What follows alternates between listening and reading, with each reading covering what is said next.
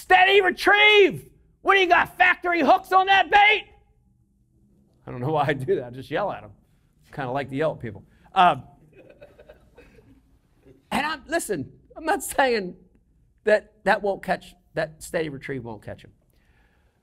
But in the spring, this next technique I'm going to talk about is the deal. And it's making that bait a radically change direction, right?